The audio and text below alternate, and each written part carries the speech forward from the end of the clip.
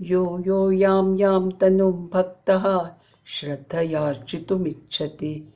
तस्य तस्याचलां श्रद्धां तामेव विदधाम्यहम्। यः यः यां यां तनुं भक्तः श्रद्धया अर्चितुम् इच्छति।